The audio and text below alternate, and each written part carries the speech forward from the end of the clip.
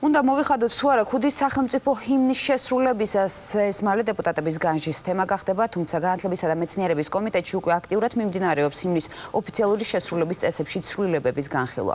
პრეზიდენტის 2001 წლის ბრძანებულების მიხედვით ქუდის მოხდა სავალდებულო იყო. თუმცა კანონ პროექტის ახალ ვერსიაში მოხდება თუ არა თავსაბურავი ეს ჯერ პოლიტიკური არა, თუმცა მაინც სერიოზული განჯის თემაა. პანაშვიძე შევიდეს და ქუდი არ მოიხადოს. გინახავს?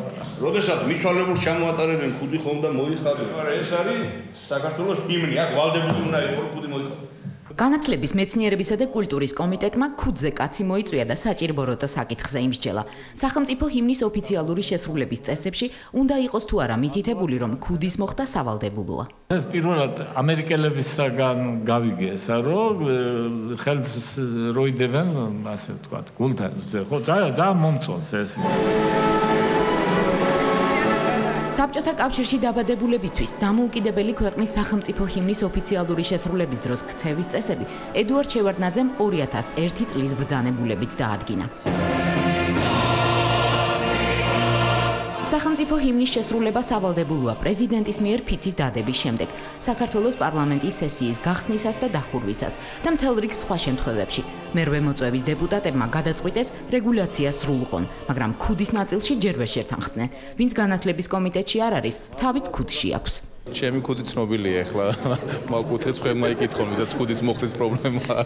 როდესაც ქვეყანაში მოშლილია სახელმწიფო ინსტიტუტები და ქვეყანას მართავს ზუგენებით სავსე აუსთანჯდობი მაფიოზი ქუდის მოხთა არ მოხთაზე მსჯელობა განსაკუთრებულ აქტუალობას იძენს ეთყობა ქართული ოცნებისათვის.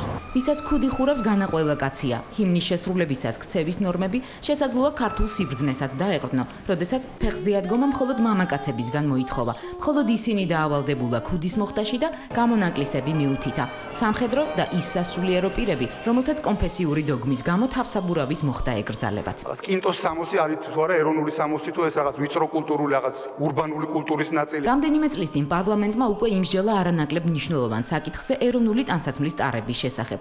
ჩოხისა და ახალუხის შემდეგ კანონმდებლები ახალი დილემის წინაშე დგანან. ქუდია თუ ბოხოხია, ჰიმნის დროს მოსახდელია. ასევე დაუშვებელია დრესკოდის დარღვევა პარლამენტის ტერიტორიაზე, მათ შორის ჟურნალისტებისთვისაც. არ შეიძლება ადამიანი უკაცრავად პასუხია ტროსიკი მოიგის ამარა შემოვიდეს პარლამენტში. მე სანადიროთ რომ მიდივარ, სხვა ტანსაცმელი მაცვია და პარლამენტში რომ მოდივარ, სხვა ტანსაცმელი მაცვია. დღეს რომ გაცვიათ ხანდახან თავისუფლად მოდიო.